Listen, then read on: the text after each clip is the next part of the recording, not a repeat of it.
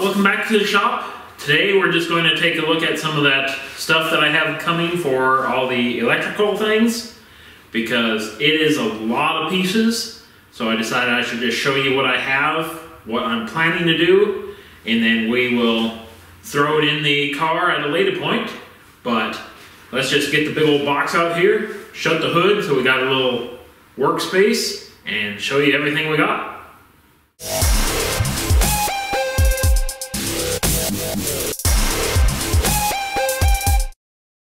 All right, so we got a box of everything over here. Let's just start pulling some things out. I got two of these guys. They are simply just a small fuse box and relay panel. So it's got a spot for, we got six fuses and six relay sections. So I got a couple of those. Try to see what this side looks like. The Alright, there we go. Monkeyed around with it a little bit. Just the other end to terminate everything. Section run the wires. Nothing real big and fancy. Kind of a cheap little item. So don't expect a whole lot maybe 10 bucks. So I got a couple of those. And they come with all the little spades and the other things and the even other things. And even some hardware and a washer. They made it kind of one leg taller than the other. So if you're on an angle, whatever. So we got two of those. This way I can avoid having the relays just kind of sitting around wired or attached to the firewall or something. You can have a slightly nicer look at there. Then we got some automatic wire cutters. I guess you dial in whatever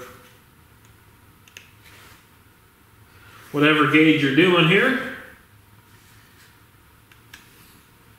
Let's go find a wire and try this thing out. Alright, well I got a couple pieces of wire. I don't know, let's just jam it in here. Hey, that works pretty good. It was just kind of like those things you see on TV. As seen on TV, you hit it, you zip it, we're good to go. So this guy just controls how much wire you want hanging out. I guess. Yeah. So, a wire cutter on that side and stripper on that. That is not too bad for a couple cheap dollars.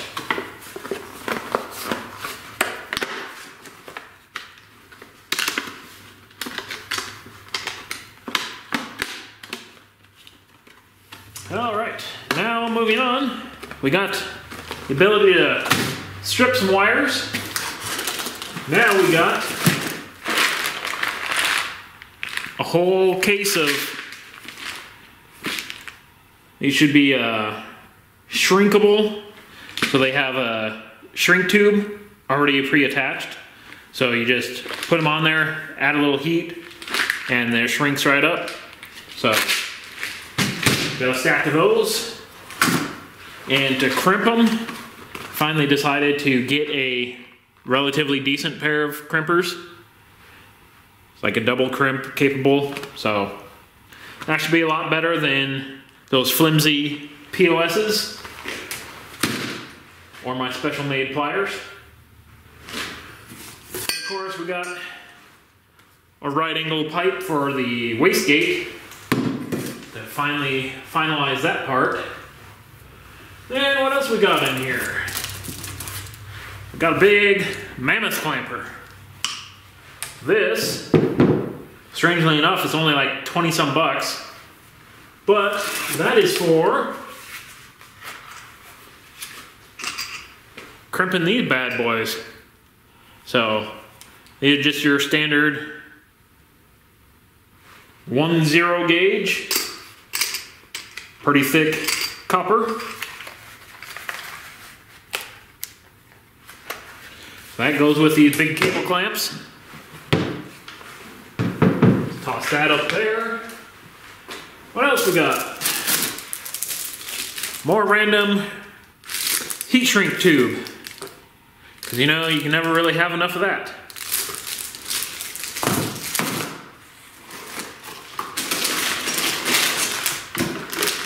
All right, and then we got a couple sets of relays. And these happen to be a much higher quality relay.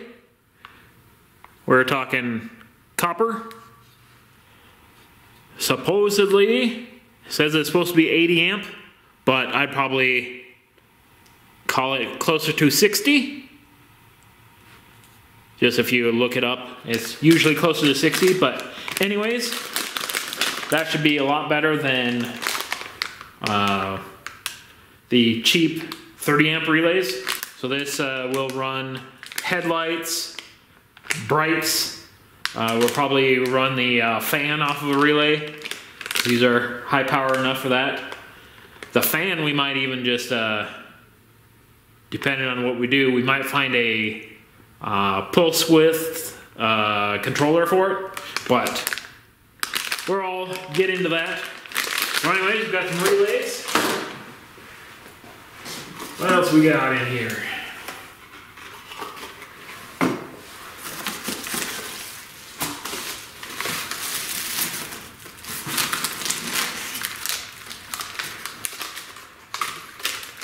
Found a couple of these uh, cheap little buttons that I wanted to try out and see how it works.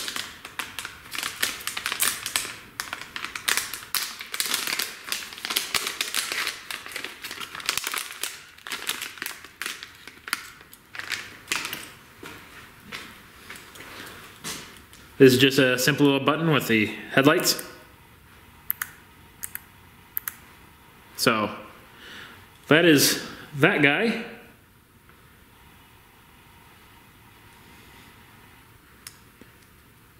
And that mounts right on up in there. So we got one of these for headlights and one for hazards. If they turn out working decent enough, we'll get a couple more for some other ideas. All right, so that was headlight. I'll put them back in this bag.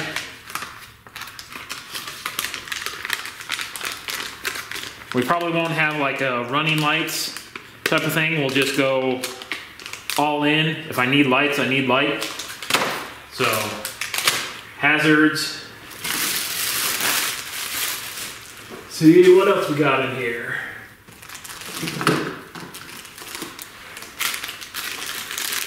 Got a bag that has some uh, power standoffs. That way I have a central location that I can run the big wires to.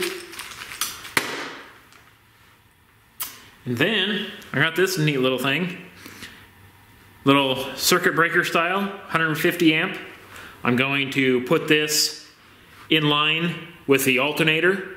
So that way, just in case the alternator goes on the fritz, it doesn't try to melt down the whole uh, operation. It can pop breaker and cancel the burn.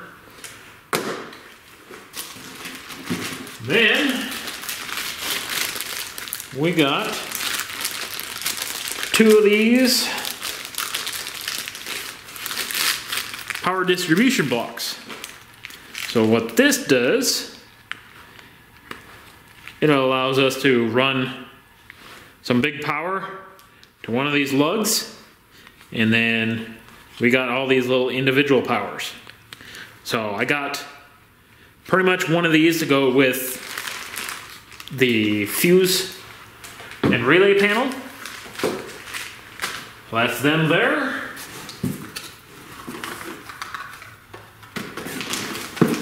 What else we got?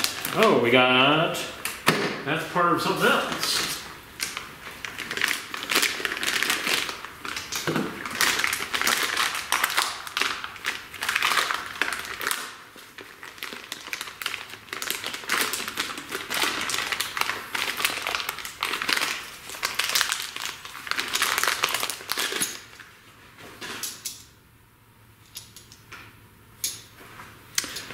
And of course we got your classic battery kill.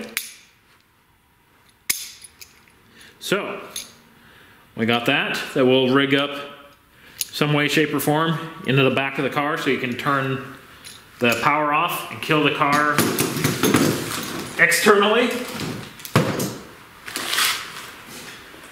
Starting to run out of hood space. And then, to go on that side, I got a big 500 amp fuse. Hopefully this will work because I plan on putting this in between the battery and everything else. So that way if like the starter jams up and starts pulling way too much or we end up slicing through the big main cable that there is something that will eventually pop and not incinerate the whole car. So that will be an interesting concept there. We'll probably have to come up with some sort of bungee apparatus to hold that lid on there to keep things from grounding out on it.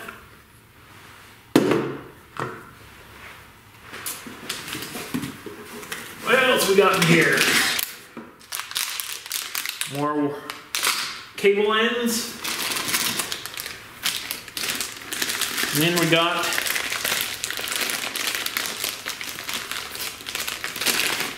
just a smaller fused distribution panel.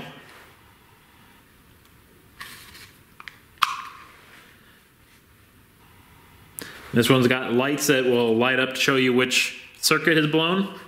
This is going to be the main section of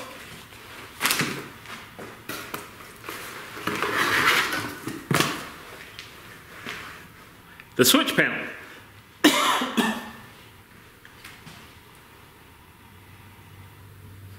Let's see, that's a 10 fuse section, and we got eight switches and all this. Place to charge up your phone and so on and so forth.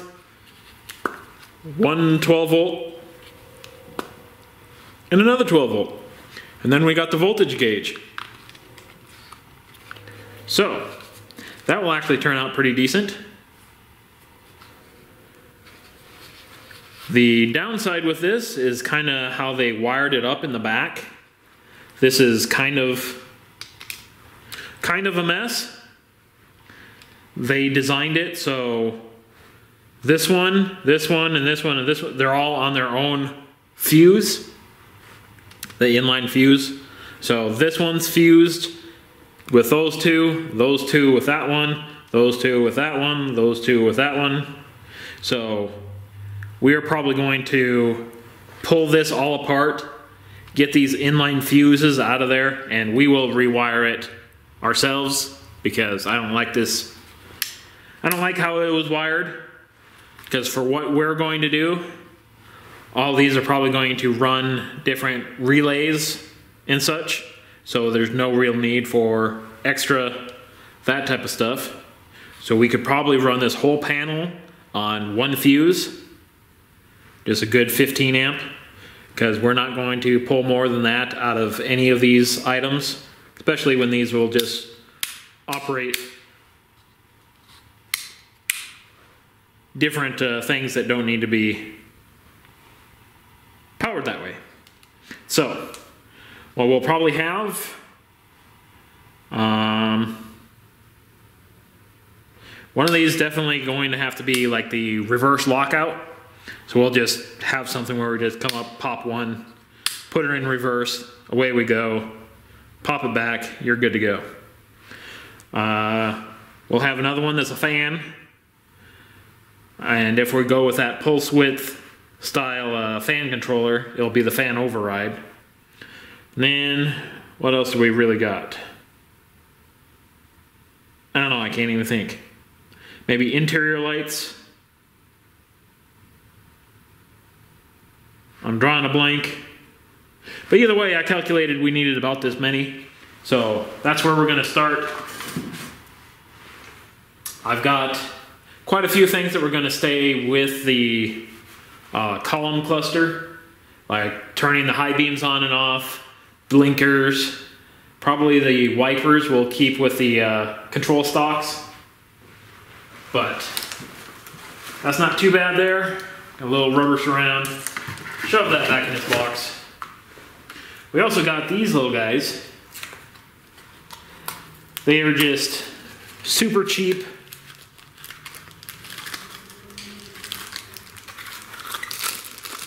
LED blinker relays, two wire, super cheap stuff. But I essentially, I wanted to go LEDs in most of the taillights, turn signals, all that accessory type of stuff. So I can get away with running some smaller wire, save a little weight there. You know, a little bit here, a little there. And then we get down to the other one of those. Get down to the bulk of this. We've got wire. So we got 18 gauge striped. Then we got some 16 gauge, just normal. Then 14 gauge for when you need a little bit more. And then some 12 gauge for when you really need some power. So this way we got some 12 gauge to run for our fuel pump and those guys. Anything that uh, runs bigger power, we can run that through there. Uh, most likely we'll have headlights run with 12 gauge because they can get a little funky. And then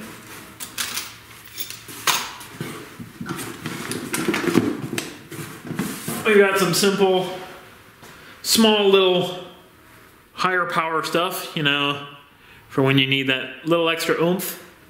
This is going to be used for running the alternator. Since our alternator claims to be a 250 amp, which I don't really believe that as far as I can throw it.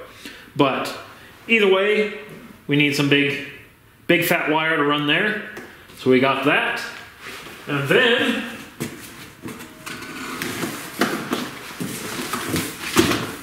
we just got some small wire right here to run for our starter from the battery that's in the back. A good old one gauge.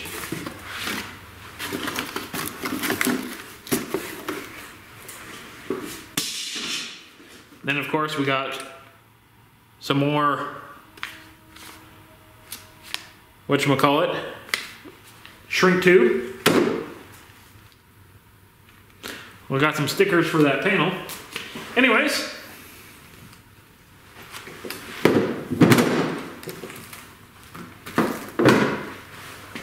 this is kind of what my recent purchase is going for. So we essentially have everything that we should need to wire this thing up.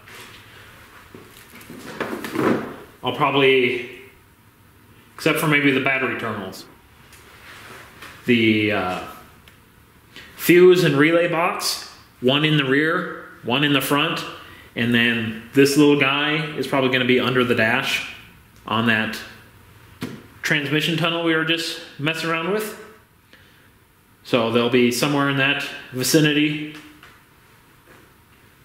So yeah, that is the concept. There's a whole lot of stuff and kind of more money than I was expecting on burning, but on the upside, I should have enough wires left over for other projects because I'm pretty sure the Raider will need to be rewired at some point because uh, that's kind of cobbled together the last time I did it, and I meant to uh, go back and redo it, but then I moved and started a different project, and we all know how that goes. So, that should be good enough to get ourselves going. This should get us right in full wire. So this might take a little bit of time to get rolling, but a couple minutes crimping wires here, crimping there. We might be able to make all this stuff practically disappear in a day. Who knows? But that's definitely going to have to be for another time because this took up quite a bit of time just unpacking everything. So, yeah, make sure to stay tuned while we wire this big old pig here and we will see what we end up with. Well, definitely could almost make an entire video on making a kill switch externally available from the outside of your vehicle. So, I guess we got some parts. Let's just start making some videos. And until then, I will see you later.